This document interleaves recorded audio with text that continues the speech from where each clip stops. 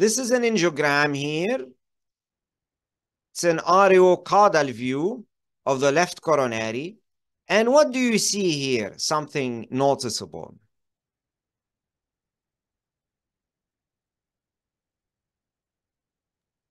I will start giving the answer.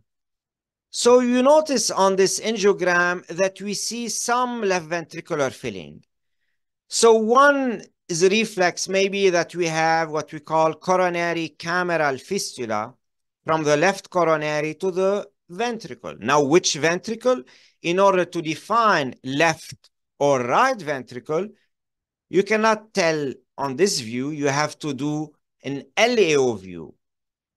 RAO view, which is this, tells you you're going to the ventricle rather than the atria, which are here on this side. This is the AV groove, the circumflex, and atria will be here. So this is potentially fistula to a ventricle. You do an LAO view, and an LAO view will tell you it's uh, potentially fistula to the left ventricle. This is the LAD here running over the septum, and this is on this side of the LAD. So LAO tells you right versus left, RAO tells you ventricle versus atria. However, is this really a fistula to the left ventricle or is it something else? It is something else, in my opinion. And it's a fairly common angiogram. You will see it one in every few hundreds angiogram. The reason I don't think it's a fistula is the following you don't see directly the left ventricle. What you see first, you see myocardial wall stain blush, and you see myocardial LV wall boundaries delineated before you see the cavity fill. So you see myocardial blush first, wall blush, before you see cavity filling okay? And the cavity filling is relatively minor, which tells you it's not a fistula. A fistula will go straight into the cavity, not so much stain the wall and the boundaries. So what we have here, it is what we call dilated myocardial veins. We most commonly call those dilated Thebesian veins. So again, you see the myocardial wall stain and blush and LV myocardial boundary delineated before you see the cavity, which tells you that it's not a fistula, it's dilated myocardial wall veins, the so-called dilated Thebesian veins. And you see that even on the RCA injection. And commonly when you have those dilated Thebesian veins, you would see them on injection from the right coronary and from the left coronary. So you have dilated Thebesian vein from the PDA and posterolateral branches into the left ventricle. And this is a case from circulation where they describe the exact same angiographic findings and they call them as dilated Thebesian vein. Bizarre appearance of capillary blush draining into the left ventricular cavity.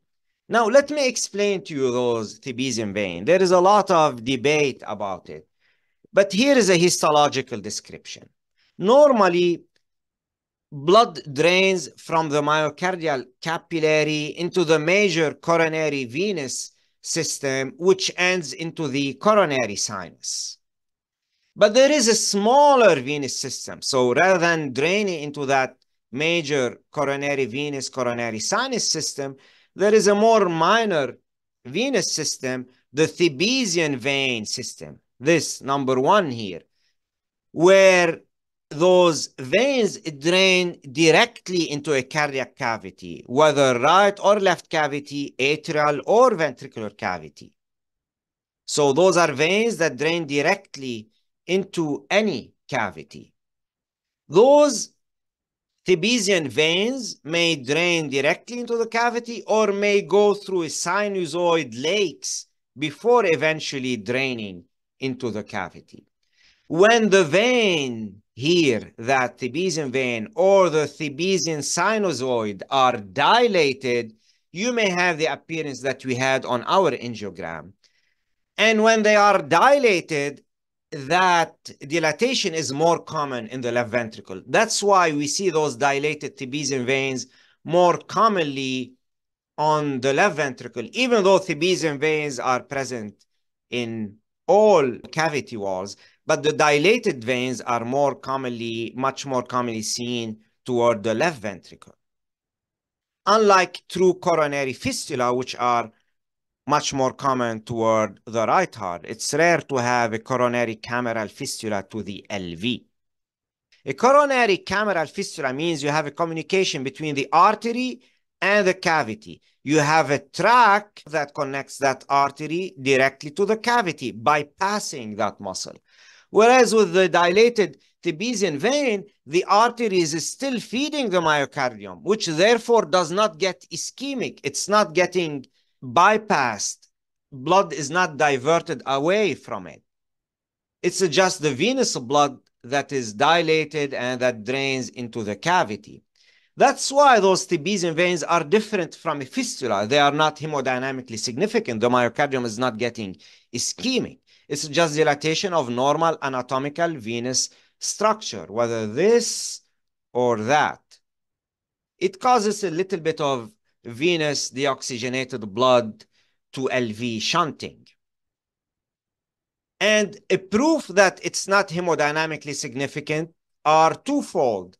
If this was a true hemodynamically significant shunt, you'll have two problems. One, the myocardium itself will get ischemic, and therefore, because of the steal phenomena from the myocardium, the proximal artery will become dilated and aneurysmal, as happens in coronary cameral fistula. Whereas here, the coronary is not aneurysmal. So that's a, one indirect suggestion that those are not hemodynamically significant. Another way of proving that it's not hemodynamic significant is if it is hemodynamic significant, you will have a left-to-left shunt. It's almost like an AI, and the LV will dilate and the LV in those patients is not dilated. So that's another proof that it's not hemodynamic significant. No big left-to-left -left shunt recirculation. And this is a summary of what I just described. When the venoluminal Thebesian veins or the sinusoid are dilated, you may have the appearance of our angiogram, and the, this dilatation is more often seen into the LV. This is not a traditional coronary cameral fistula as the artery does not communicate directly with the cavity. The artery feeds the myocardium, which therefore does not get ischemic. Then it is the venous blood that drains into the cavity. That is why it is not hemodynamically significant. And this is an anatomy paper that proved the presence of those Thebesian vein uh, normally. Now, I, like most interventionalists, like to call this angiographic appearance dilated Thebesian vein. However, the great Dr. Angelini believes that those communication are indeed coronary to LV microfistula, not Thebesian veins. But regardless, even Dr. Angelini considers them overwhelmingly insignificant hemodynamically.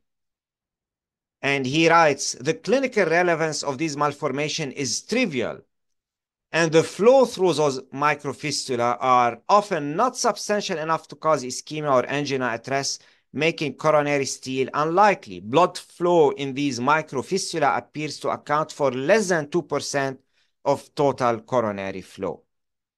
So it is fine to call them dilated Thebesian sinusoid vein, and that's what I like to call them, like most interventionists. It's okay to call them coronary to LV microfistula, like Dr. Angelini says.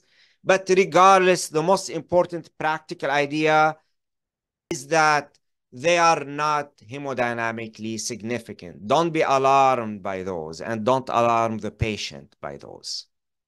And again, the proof is that the upstream coronary is not usually significantly dilated, contrary to what happened in severe hemodynamic fistula. And also, the LV does not dilate, unlike what would happen if you have significant left-to-left -left shunting. This is another angiographic case. Look at this angiogram here. This is an RAO caudal view. What is unusual? What do you see?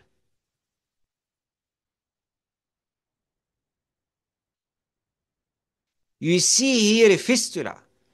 You see a vessel filling a chamber, and that chamber quickly empties. You see a communication between that first septal and a cavity.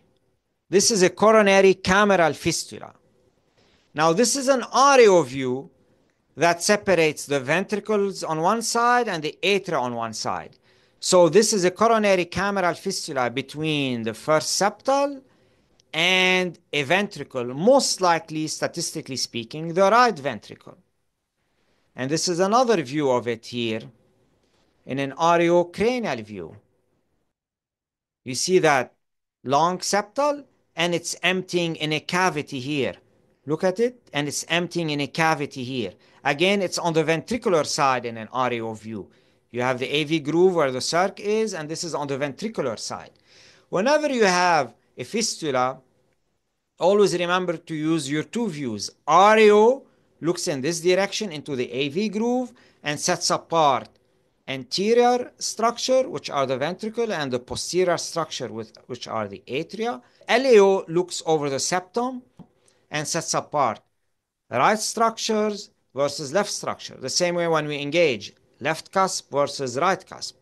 So in this patient, in order to confirm where that fistula is landing, we need to do an LAO view and confirm that it is indeed in the right ventricle, not into the left ventricle.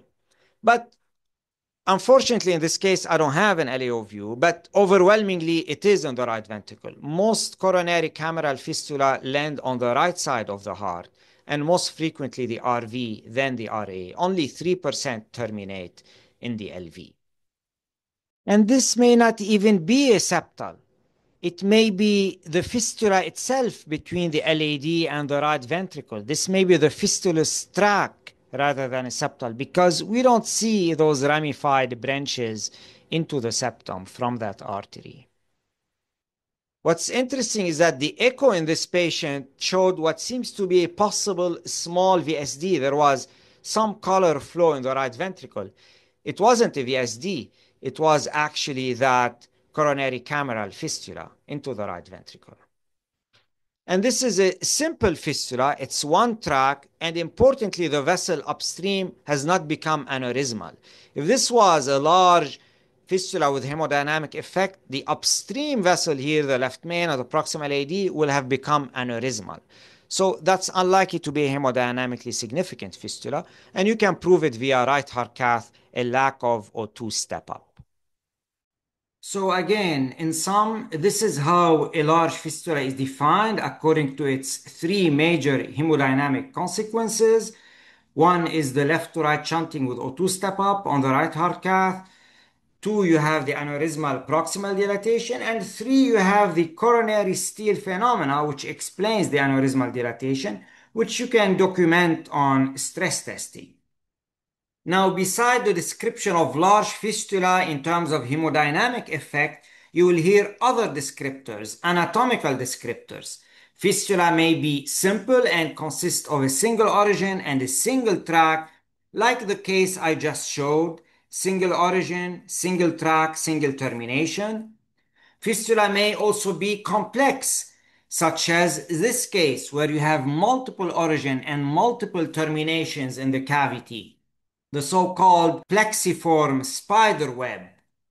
A complex fistula does not mean it is large, it's just an anatomical descriptor. On the other hand, a simple fistula may be large and may have hemodynamic effect.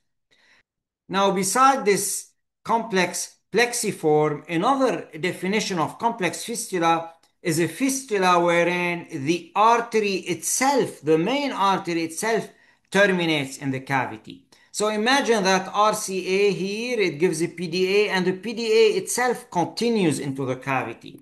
There is no separate distinct fistulous tract. That's also called a complex fistula. Now again, a large fistula is a fistula with hemodynamic effect. But there is another definition for a large fistula which is anatomic and it applies to the simple fistula with a single tract when this fistula tract is equal to two times the caliber of the distal vessel. Such as here, imagine that this is the fistula tract and this fistula tract is two times larger than the distal LAD. That's clearly not the case here, but that's how a large single fistula would be defined anatomically beside the hemodynamic effect. How is a fistula treated? Number one, in order to treat a fistula, it has to be large, typically with hemodynamic effect. Number two, the way it's treated depends on the anatomical descriptors, and that's why those anatomical descriptors are helpful, mainly to decide the treatment strategy. If it is a simple fistula, it is treated surgically with ligation of its origin or tract, whereas a complex fistula is treated by patching the distal termination from inside the cavity. It is patched on the inside, and therefore all those complex plexiform tracts will thrombose. You cannot ligate all those complex tracts. Also, a simple single tract fistula may be treated percutaneously using an oversized coil embolization at the distal end of this fistula.